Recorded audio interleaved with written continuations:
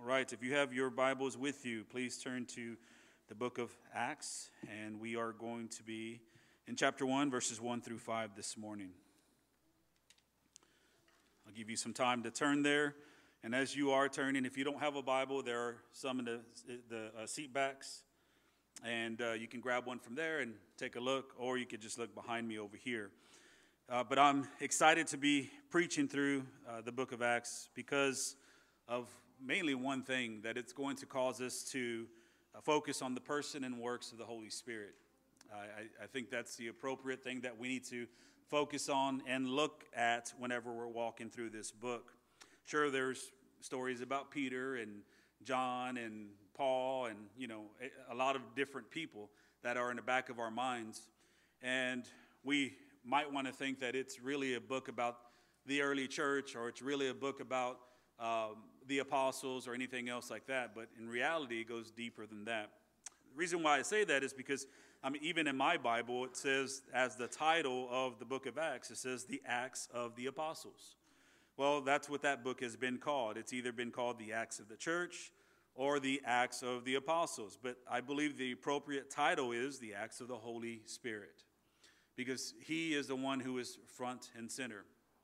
And we worship a triune God, but when we sit there and we look at each person of the triune God, uh, there's a lot of focus on the Father.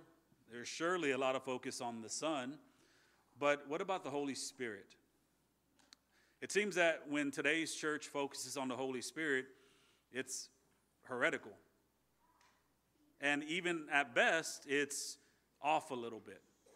And I, I think that because, I, I think it's that way because we do not study the Holy Spirit enough. I think there is a neglect to know Him. Um, I, I, think a lot of it is just based off of what we've heard from other people rather than searching the scripture to teach us who the Holy Spirit is and what He does. And it would benefit us, or it is going to benefit us, to, to look at this book and learn about him. Uh, there are many reasons why this book should be called the Holy Spirit, but the main one that I can think of is if you take a look at this book and you look at the, the acts or the actions in the book of Acts, I, I want you to notice that nothing starts until the Holy Spirit uh, ascends down from heaven and inhabits the believers. So, in other words, to put it plainly, there is no acts without the acts of the Holy Spirit. So, that tells us where all the power comes from, all the knowledge. It tells us who's in charge, it tells us who's doing uh, everything behind the scenes and within uh, the church. Jesus says, Apart from me, you can do nothing. That was John 15, 5. Well, uh, the reason why I mentioned that is as we study through Acts, we will see that to be true. Uh, without him, the church can do nothing. So, apart from Christ and the grace of sending his spirit, when we look at the apostles, they can do nothing without Christ. Um, apart from Christ and the spirit, the church can do nothing. So, what does that mean? Well, it means apart from Christ and the spirit, we ourselves, we can do nothing. The theme of that uh, I've chosen for this book is Life Through the Spirit. Because as we walk through, we're going to see how the Holy Spirit could be is helpful to us, how He leads us, um, how He cares for us. Uh, it, it's a beautiful thing. And as we study, I, I think we're going to be challenged to grow in our knowledge and also our faith in the Holy Spirit. As I said before, we worship one God who is three persons Father, Son, and Holy Spirit, and it's very important for us to know Him completely. So let's begin our journey by looking at verses 1 through 5. In the first book, O Theophilus, I have dealt with all that Jesus began to do and teach until the day when he was taken up, after he had given commands through the Holy Spirit to the apostles whom he had chosen. He presented himself alive to them after his suffering by many proofs appearing to them or appearing to them during 40 days and speaking about the kingdom of God. And while staying with them, he ordered them not to depart from Jerusalem, but to wait for the promise of the Father, which he said, You heard from me. For John baptized with water, but you will be baptized with the Holy Spirit not many days from now. Uh, beautiful text, awesome introduction, and I think it, it, it really helps us in um, framing this book and, and, what's about to happen. Uh, first, let me establish some biblical context, and then I'll get to the main point for today. First of all, I think it's important that we know who wrote this book. Uh, the author's name is Luke, and it's the same Luke who penned the gospel. And who was Luke? Well, Luke wasn't an apostle, but he was a great help to them. Uh, Luke was a Gentile. We can tell that by his name, his vocation. He was a physician. Uh, and a lot of scholars look at his writing, it's a lot more advanced as far as grammatically and, and intellectually than uh, a lot of the other writers. Uh, so he was a very smart man, and he really pays attention to the details of things. If you're a detail oriented person, I would recommend that you read the Gospel of Luke. You're probably going to enjoy that more than any, any other gospel because he goes into detail about different things that Jesus did and, and Jesus said. If you're, uh, if you're a dude and you just like action, well, read Mark because you're just going to hear Jesus went there, Jesus did this, Jesus did that. It's like an action movie. So, but if, if, if you like detail, Luke is going to be the book for you. Um, he was a co worker of the gospel uh, to Paul. Uh, he, he was Paul's uh, you know, great helper. And as being a co worker to Paul, he was also a traveling, a traveling companion to Paul. So, if, if we're going to say who is Luke and, and, and try to define him very quickly, that, that's who he was as a Christian, as a person and as a Christian. Now, for some reason, he thought it was important to write to Theophilus. And I tell you what, praise God that he did both books that he penned, Luke and the book of Acts, were to Theophilus. And as a result of his writing to Theophilus, we have an account of the birth, the life, the death, the resurrection, and the ascension of Christ. That's awesome. And then that's just covering the book of Luke. But if we look at the book of Acts, we also have a detailed account of the sending, the receiving, and the work of the Spirit in the early church. So, whoever Theophilus was, and a quick note on Theophilus, we don't know exactly who he was. As I was studying for this sermon, you look at scholars, and it's all over the place of who he could have been. Um, he could have been a man who was supporting uh, Paul's missionary journeys. And that's why Luke was writing back to him to tell him all these different accounts. He could have been uh, an unbeliever, and Luke was trying to convert him. He could have been a believer, but Luke was trying to give him more details so that he could understand the story of Christ better and also the work of the Holy Spirit. So there's all kind of things out there about who he could have been. But you know what? I do not think it's important. The only thing that's important is that we know that by the divine inspiration of the Holy Spirit, Luke penned these two letters so that we could have them in our lap today and we can know Jesus Christ, crucified, risen, and in glory, and then we could also know that he who is in us is greater than he who is in the world. So, knowing who Theophilus is, it, it's a minor detail. You can go look yourself, and you're just going to see that it's all over the place. But Luke's last account in the gospel, this is what he wrote. This is Luke 24, verses 50 through 53. He said, And he led them out as far as Bethany. He's speaking about Jesus Christ here. And lifting up his hands, he blessed them. Them are the disciples who were with him. While he blessed them, he parted from them and was carried up into heaven. And they worshiped him and returned to uh, Jerusalem with great joy and were continually in the temple blessing God. So that's, that's where we leave off, or where we left off in, uh, in the book of Luke. Luke, again, 24, verses 50 to 53. Now, when we turn to Acts chapter 1, verses 1 through 3, it's like Luke picks up where he left off. Luke's provide, or Luke provides testimony to the life and works of Christ. This is what he says in verses 1 through 3, and I'm going to summarize them. Number one, Christ did many miracles and he taught many people. And there were those who saw that happen. What, that's what a testimony is. I, I testify to these things that they're true because either I was an eyewitness or I know somebody who saw them happen. So Luke documents what people saw, uh, saw Jesus do and what they heard him teach. So he did many miracles and he taught many people. Number two, he gave specific commands to the apostles. The apostles were set apart from the other disciples, they were the leaders of the church. And so for them, they got special or specific commands or instructions. Number three, he presented himself alive with many proofs, not for one day, not for two days, not for three days, for 40 days. For 40 days. That's at this after his resurrection.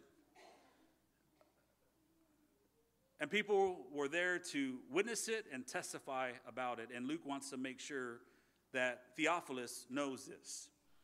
It's a good thing for you to know this as well.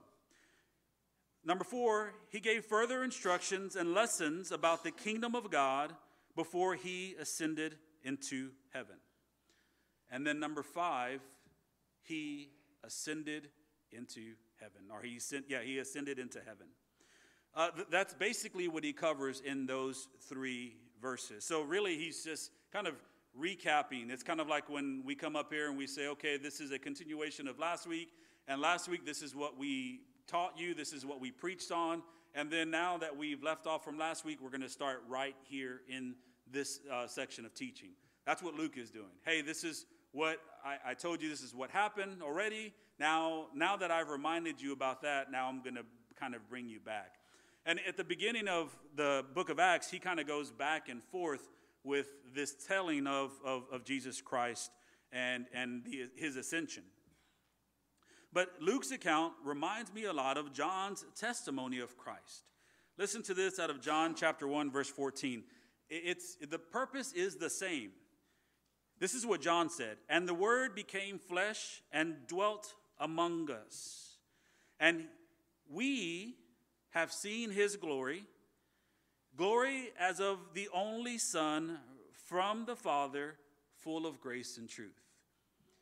John's doing the same thing at the very beginning of his gospel.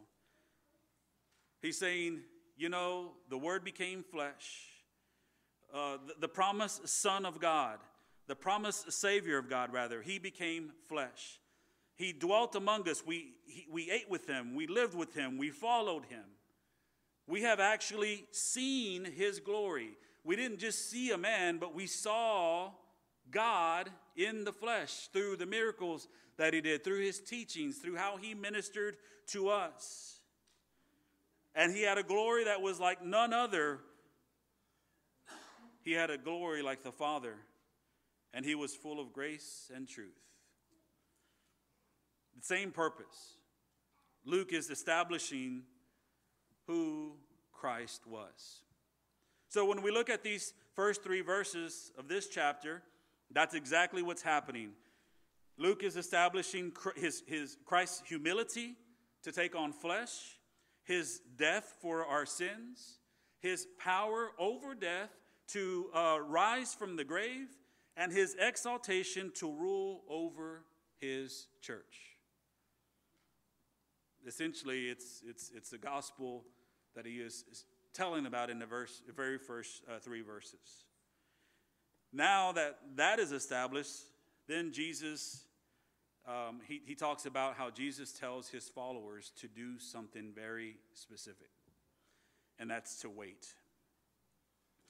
Verses 4 and 5. I, I want to reread those for you.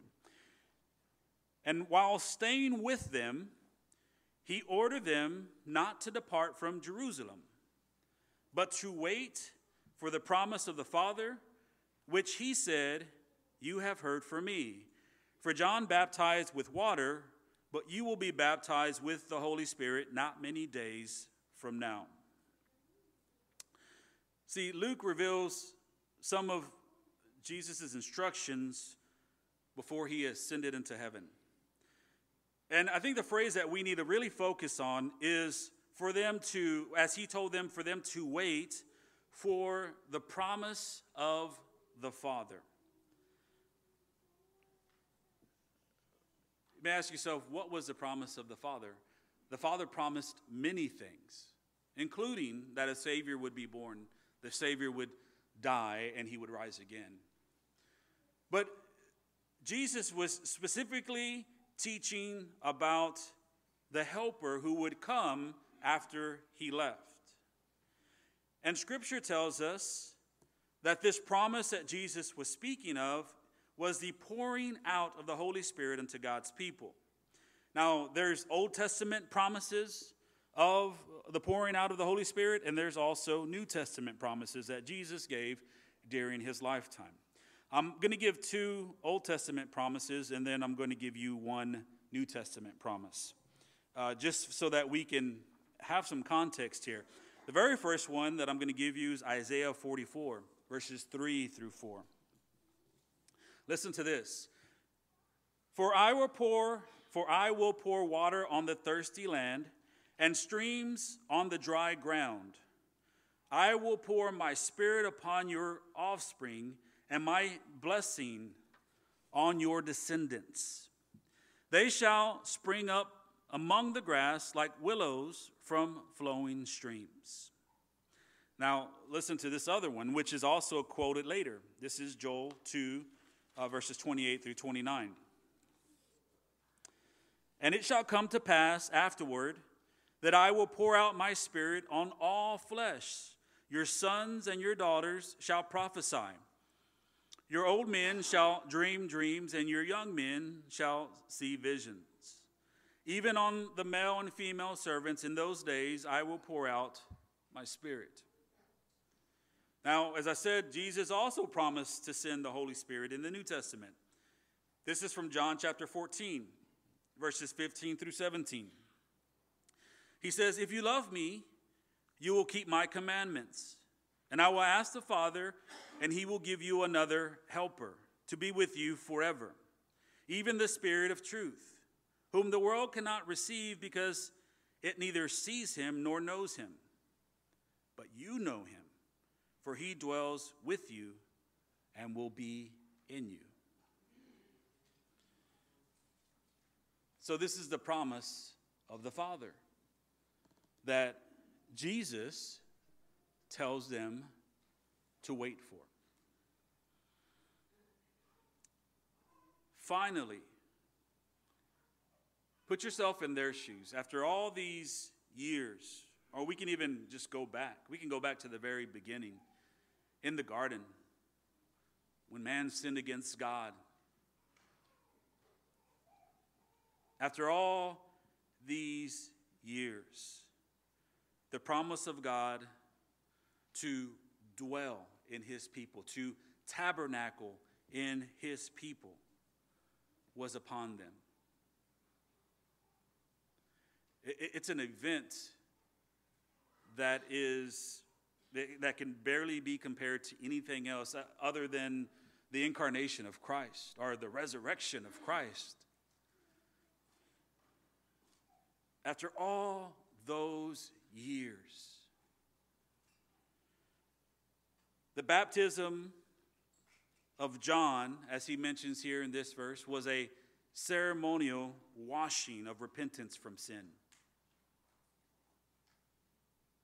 It had no power other than the ceremony itself. And that's why there's a reference there from Jesus to the apostles. You are about to be baptized by the Holy Spirit. And I can imagine when they heard those words, they're like, okay, great, we're going to be dunked in water again. But this was a different type of baptism. The baptism of the Holy Spirit would be the Holy Spirit the third person of the Trinity, indwelling the hearts of man permanently. That's huge. I, I don't have time to get into some of the heretical teachings about this baptism of the Holy Spirit now in today's sermon, because today's sermon is really an introduction into this book. We're going to have time later as we continue to walk through. But that's exactly what the Holy Spirit is. It, the baptism of the Holy Spirit. It is, it is God's dwelling inside of us. God doesn't dwell in the ark of the covenant anymore. He's, he's not in the Holy of Holies in the temple, where only one man could go and, and, and interact with him, and only once a year. And if he didn't do things correctly, he would, he would just die in, in the presence of God.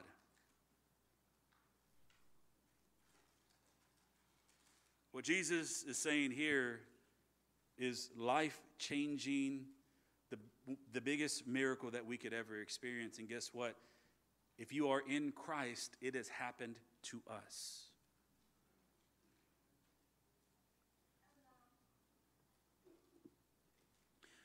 The Spirit, what Jesus is saying is that the Spirit of God would baptize us in a sense where He would make us clean, but also make us a new creature. This would be a new era in the history of creation. This was and is still exciting news. Because there's only one more thing left to happen before everything everything is made new and that thing is Jesus returning. So, this is an enormous event that Jesus is talking about, and he's, he's, he's telling the disciples, uh, all his disciples, the apostles and the disciples, I, I, this is what I want you to do. Don't leave Jerusalem. Stay here until the, you receive the promise of the Father.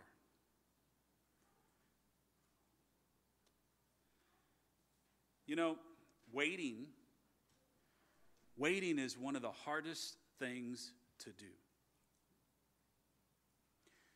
And I don't know about you, but it always seems that God is saying to wait. How many of you have ever prayed a prayer and then immediately after you finish praying, it happened in your favor? Maybe that's happened, but I would bet that more than not, you are waiting on something that you're praying for. And, and the reason why you remember that thing when it happened is because you were like, wow, that happened real quick. I didn't expect that to happen that long or that quickly. The phrase that I get caught on here is the fact that Jesus, he, he, he tells them this wonderful news and then he says to wait. And so we come to the conclusion of the sermon. Well, I say conclusion, but this is the part where we get to talk about how it applies to us. And then God said to wait. Imagine this you are a disciple of Christ. You got to see the miracles that he performed. You got to hear his teaching. You experience his glory. Glory like the, the only Son of God. You've been following, you've been watching, you've been listening to him for over three years. While you are following him, you hear that he is a king, and so you, you're stuck in this earthly realm and you are expecting him to overthrow the Roman government. And, and as a result of that, you're going to rule with him as the new king. That's, what, that's why you began to follow him. But as you continue to see him do the things that he does, and you begin to hear him, as you continue to hear him, he, your perspective of him is changing. You're tired of being oppressed. You know the promises of the Old Testament that God had given to the Israelites. You're fully expecting for God to do something because God has been silent all these years. And it looks promising because Jesus has gathered a big following. Things are changing for your people, things are changing for your nation. But then your prospect king is captured, tortured, and killed. You lose all hope, you desert him, and then you also desert each other. All hope is lost. And then you begin to wonder what did I just do for the last three and a half years following this man who said he was going to be the King of Kings? But then something crazy happens. Your king who was dead, he returns from the grave. And then as he returns from the grave and he spends time with you, he everything starts to make sense and you finally understand that he was not a merely he was merely not an, an earthly king, but he was the king of kings, that he truly was God. You had been following God in the flesh around all this time. And after his resurrection, you, you follow him around for these 40 days, and then it, it, it can't get much better than that, but then it does. He takes you to the area of Bethany. He's teaching you this final lesson. And then, mind you, they didn't have airplanes in this day. He just lifts up off the ground, and then he continues to just go into the air until he's hidden by the clouds.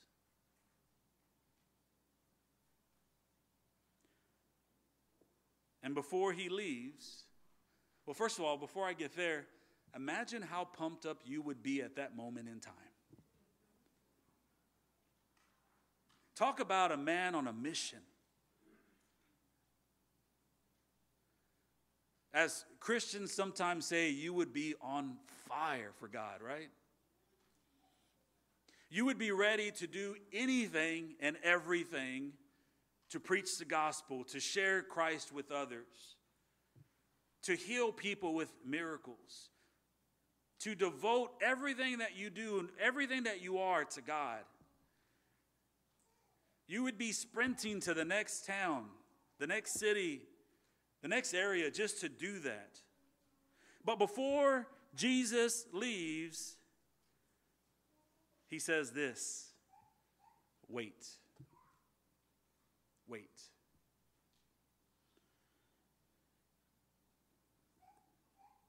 How difficult that must have been. We can't even wait for a home cooked meal to be made nowadays. I'm guilty of that. If I get home and I'm hungry, I'm like, how, how long to dinner, babe? Oh, 45 minutes. Oh, man.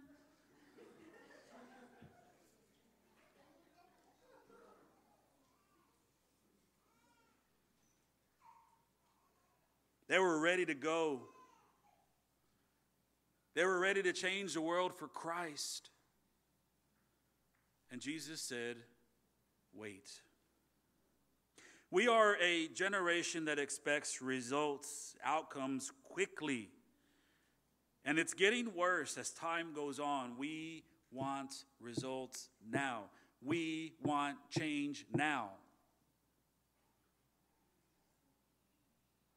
Why wait for tomorrow when we can have it all today? And I, I think we, we're coming to that conclusion, number one, because that's the way society thinks. We, we, are, we are creatures who have realized we will not live forever. And so we have this, this thing within us, this goal within us, this drive within us to consume as much as we can here on earth, to enjoy as much as we can here on earth before we're not here any longer. Now, when the world thinks of that, there's no hope in what's here afterward. This is the best it's going to get for those who are not in Christ. So you can understand that. But for the Christian, it needs to be different. This is not the best it is going to get. We're not even home. But yet we, we, we do the same thing that the world does, and we say, I need everything quickly because I do not have much time. When you look at what's going on here at the dawn of this new era in creation, Jesus tells his followers to wait. Why in the world would he tell them to wait? Well, to answer that question, the reason they had to wait was that they had to receive power from God to carry out his commands. As I said before in the beginning, there would be no acts of the apostles, there would be no acts of the church without the empowerment of the Holy Spirit. So here's the question that I think we all need to ask ourselves Why does God command his people to wait? Well, number one, do not forget this, especially while you're waiting on God. The reason why God commands his people to wait is because he can. He has you waiting so that you know that He alone is God, not you. This is not based on your will. This is not based on your power. This is not based on your timetable. God says, I am God alone. There is no other like me. And that is a lesson that we have to learn and relearn daily. A sovereign and holy being waits on no one. And since we spend most of our time waiting, guess what we are? Well, guess what we are not? We are not sovereign and we are not holy like God is holy or like God is sovereign. Number two, why does God command his people to wait? Waiting prompts prayer.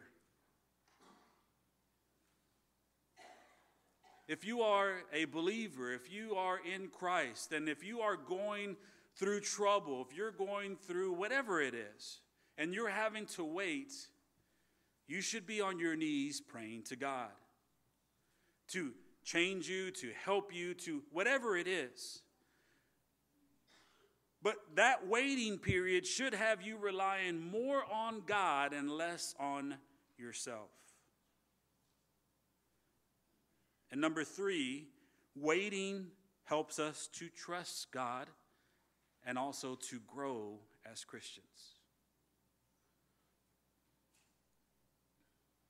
Today, if you are in Christ, you have been filled with the Holy Spirit.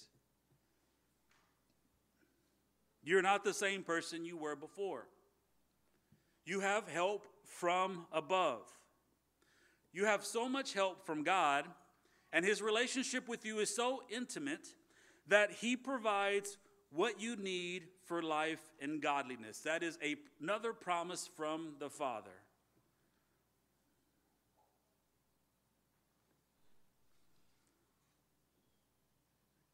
If you realize that He dwells in you, if you realize that you have what you need for life and godliness. I think it's possible for you, for me, to praise God in our waiting. I think it's possible for us to forget about ourselves, forget about what we want here and now, and to say, God, you know better.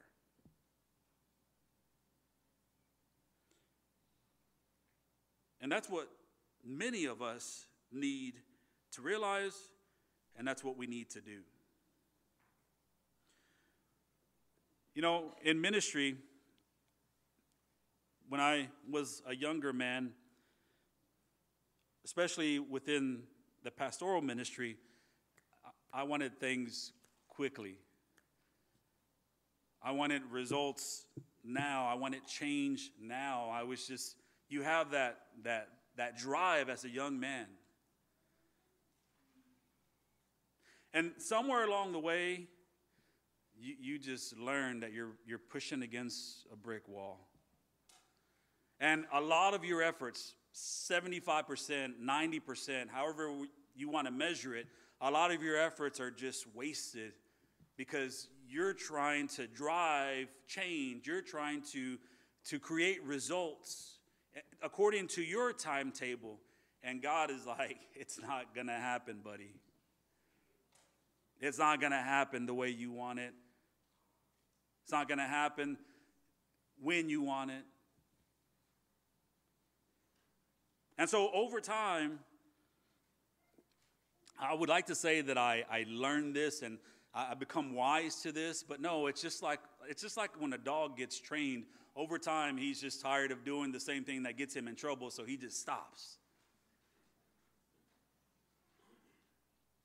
He becomes trained by, by God in a sense. And so now I don't mind the waiting. And I know that I'm aware that many times in ministry, those who I lead, they grow weary of my waiting. It, it may seem that it takes a long time to do something. Listen, there is a time to wait, and there's a time to go. Both exist in our life. What I want to tell you is don't wait when you're supposed to go, and don't go when you're supposed to wait. See, the reason why I say this is because this sermon is, a, it may seem like it's about waiting for things. And for many of you, I think you would say, Hallelujah, praise the Lord on that. I'm going to wait on this decision to do something.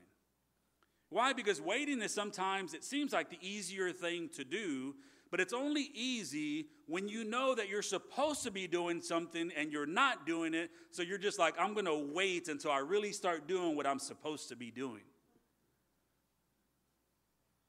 Like serving the Lord or joining the church or helping somebody in need or, reaching out to somebody or, or being the helpmate that God has created you to be. It's like, oh, I'm going to wait on that, that, that stuff right there obviously are repenting from your sin. Obviously, you shouldn't wait on things like that. You're making a mockery of God's word when you say, Oh, I'm going to wait on things that are really obvious that I should be doing already. But then the things that you shouldn't be doing, it's a different story you're ready to go. The things that we shouldn't be walking in, the things that we shouldn't be watching, the things that we shouldn't be reading, the things that, whatever it is, the things that we shouldn't be thinking, that's a go, that's a green light all the way.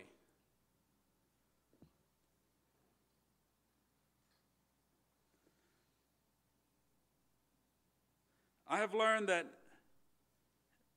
Nothing is by my power, nor by my strength, but that everything is by the Spirit of the Lord. Listen, God knows what you need. He also knows what you want those things will not come according to your timing. Those things will come to you according to his will. And that is it. So if it's good or bad, whatever your circumstances is right now, and you're waiting for God to move, This is a very critical point in your life. This is a great, very critical point in your, in your walk with God. This is time for you to know that you serve a holy and sovereign God. This is also time for you to be in prayer about what you can learn through your waiting, what you can what you can learn from it, but also what you can learn about God through this and get, asking Him to give you peace and comfort through what you are going through. And then, thirdly, this is a time where you learn to trust Him more. Because while you're waiting, you don't understand what's going to happen, you don't understand where you're going to go, you don't see it. But you serve a God who said, I will be with you. I will never forsake you. I will never leave you.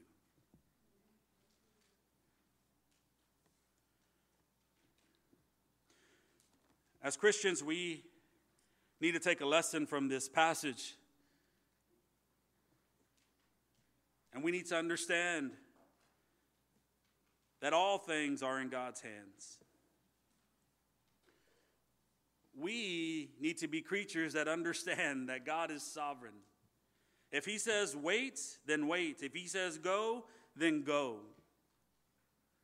I don't know about you, but it's become pretty clear as to the things I should wait on and the things that we should pursue. At least the conviction that I have from the Lord. Now, do I grab those things and I do I do I cloud you know cloud the waters on it? Yes, of course I do, and, and so do you. That's where our issue is.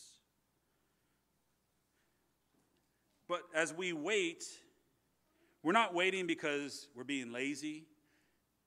We shouldn't be. We're not waiting because we're scared. We're not waiting because the cost is too much. We're waiting because we want to ensure that we're walking by the Spirit and not by the flesh.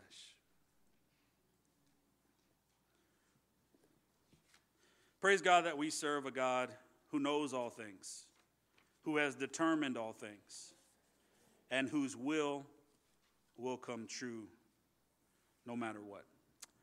Let's pray.